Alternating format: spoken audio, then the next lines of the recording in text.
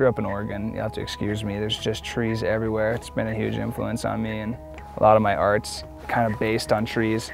But this graphic's actually two paintings. One is a massive color wheel that I painted with this kind of black and white striped tree with these uh, curlicue foliage, nimbus looking cloudish things on there. And the other painting is actually these roots that really reach down.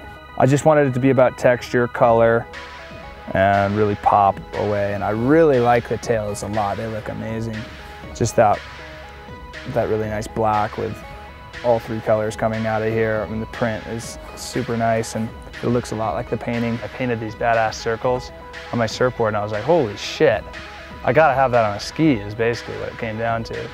Just the theme of, of as above, the macrocosm, microcosm, as above, so below kind of iceberg thing where you have with the roots coming down and then, you know, this tree coming up and, you know, you're only seeing X amount and there's so much more below. A lot of my art is centered around that theme.